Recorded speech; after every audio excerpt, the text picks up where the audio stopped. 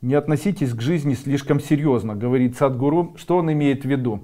Когда человек, допустим, э, когда человек, допустим, слышит что-нибудь плохое, то этот человек может об этом задумываться. Вот о чем он говорит. И я об этом когда-то говорил. Очень часто люди начинают изучать информацию и начинают изучать информацию, забывая о том, что наш мозг имеет еще и подсознание. Именно поэтому, когда мы читаем любую информацию, любую критику, любой негатив, то хотим мы или нет, мы это накапливаем себе, даже если мы человек хороший.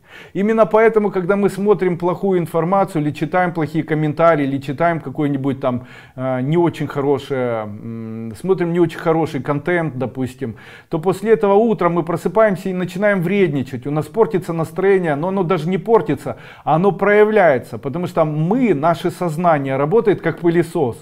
Поэтому любая информация, к которой мы даже прикасаемся, она невербально воздействует на нас, заставляя нас или снижая нам э, уровень восприятия, как бы обучая нас быть вот такими людьми. Это связано с неким таким пониманием, которое называется в невербальное обучение большого, большого количества слоев населения, невербальное обучение человека. Как это происходит? Человек, который, допустим, э, один человек попадает в Абхазию и живет в Абхазии очень длительное время, и он разговаривает с абхазами, не зная абхазского языка.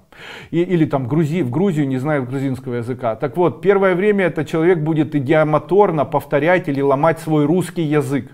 То есть, эй, дорогой, что такое, дорогой? То есть он будет вот таким образом кривляться, после чего начнет туда вставлять вот такие слова. Почему? Это невербальное влияние на человека.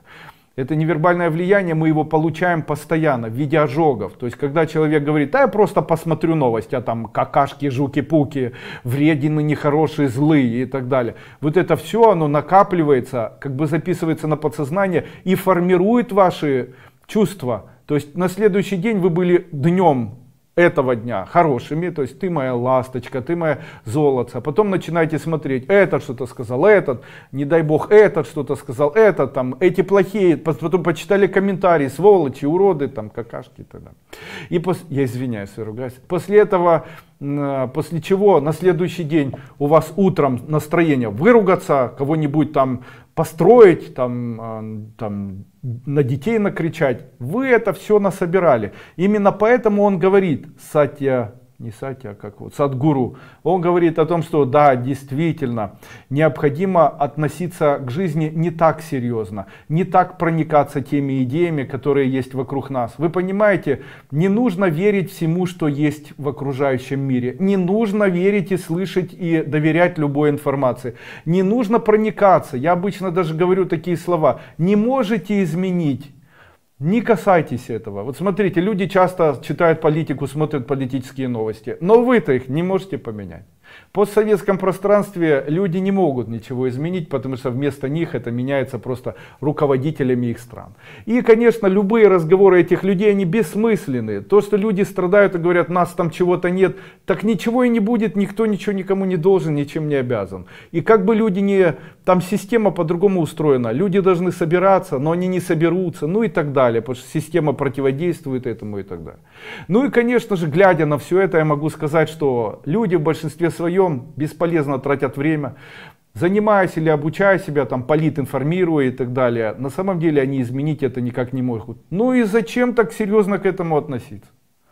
Зачем так серьезно? У вас что, нет серьезных дел? Отнеситесь серьезно к своему телу. Занимайтесь зарядкой, приседайте, дышите на воздухе, гуляйте. Займитесь серьезно вашими детьми, вымойте им, свяжите носки, а, свяжите, э, свяжите э, шарфик.